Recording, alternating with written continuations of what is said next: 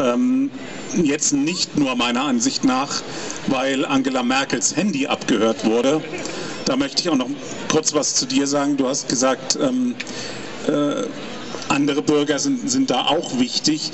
Es ist nochmal ein Unterschied meiner Ansicht nach, ob ihr Diensthandy als CDU-Vorsitzende abgehört wird oder ob ein privates Handy eines Bürgers abgehört wird. Das ist nochmal eine ganz andere Dimension. Das ist ja ihr Diensthandy gewesen, soweit ich weiß, das abgehört wurde. Und das ähm, betrifft noch nicht mal direkt ihre Bürgerin, äh, ihre Rechte als Bürgerin, sondern als CDU-Chefin. Und wenn von uns private Handys abgehört werden, dann sind es unsere Bürgerrechte, die da betroffen sind. Ich denke, man, man muss einfach, klar, es, es geht auch nicht, dass ihr Handy abgehört wird als CDU-Chefin, aber man muss, äh, denke ich, äh, die Dimension sehen, was schlimmer ist. Und für mich ist es schlimmer, wenn die Handys, die Privathandys von 80 Millionen Bürgern abgehört werden, als wenn das äh, Diensthandy oder das äh, berufliche Handy der CDU-Chefin abgehört wird. Und im Moment wird es in der Presse so dargestellt, als ob das schlimmer wäre, also das Diensthandy der, der CDU-Chefin abzuhören. Und ich finde, da liegt auch ein Missverhältnis, auf das wir hinweisen müssen. Und noch ein Wort zur SPD. Es ist gut, dass die SPD das Thema jetzt in die Koalitionsverhandlungen mit reingebracht hat. Man muss aber auch dazu sagen, vorher, bevor das mit Merkels Handy rauskam, war in den zehn Punkten kein einziger bürgerrechtlicher Punkt mit drin. Und dieses Thema erst recht nicht. Also das hat schon, ähm, hat mich sehr enttäuscht. Ähm,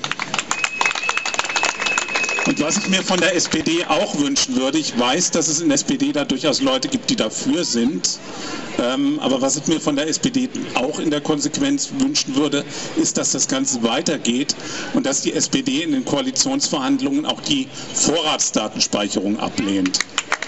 Das ist ganz klar, dass das äh, angesichts dessen, wo wir jetzt stehen mit der NSA-Affäre auch nicht geht, weil im Prinzip die Vorratsdatenspeicherung nichts anderes ist als eine legitimierte Abhöraktion, wie wir sie jetzt erleben. Da wird auch eine Vollerhebung von Metadaten gemacht aller Bürger in der EU. Und das ist im Prinzip nichts anderes, nur dass man davon weiß. Und das denke ich, äh, sollte die SPD auch mit reinbringen.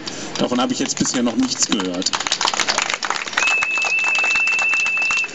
Jetzt möchte ich ganz grundsätzlich noch einige ähm, Worte sagen zur Entwicklung der äh, Bewegung, wie sie sich jetzt in den letzten Wochen und Monaten entwickelt hat, der Stop-Watching als Bewegung. Wie wir hier sehen, wir sind deutlich weniger geworden. Wir waren bei den ersten Mal, beiden Malen um die 200 Leute. Das sind jetzt deutlich weniger. Es ist auch bundesweit deutlich weniger geworden. Ich gehe mal ein bisschen von dem Ding hier weg, weil ich glaube, es piepst. Ähm, es ist auch bundesweit deutlich weniger geworden. Wir äh, hatten am Anfang über 30 Städte, die sich daran beteiligt haben. Mittlerweile sind es, also heute sind es nur noch acht. Ähm, davon ein Ort wie Michelbach im Odenwald. Oder Michelstadt, ja, Entschuldigung. Ähm, Städte wie Berlin, Hamburg sind schon nicht mehr dabei. Also Großstädte. Und das, und das ist eine meiner Ansicht nach bedenkliche Entwicklung, äh, die auch ihre Gründe hat. Ich habe mich nämlich auch gefragt, was haben wir eigentlich erreicht mit der Bewegung? Und ich muss sagen, sehr, sehr wenig. Wir haben die Leute nicht erreicht bisher. Wir haben die erreicht, die im Prinzip hier sind, ihr, die ihr selbst schon sensibilisiert seid für das Thema. Aber uns ist es nicht gelungen, bisher äh, die Leute auf der Straße anzusprechen und sie für das Thema zu sensibilisieren und zu sagen, da gibt es ein Problem, das euch ganz direkt betrifft.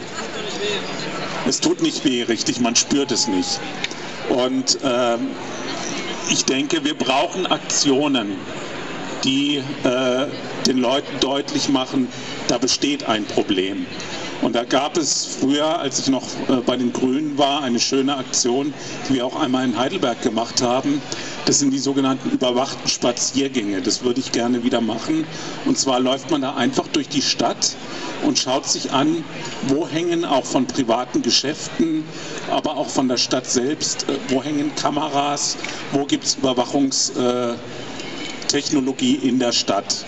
Und so eine Aktion würde ich gerne wieder in Heidelberg machen für Stop Watching Us. Ähm,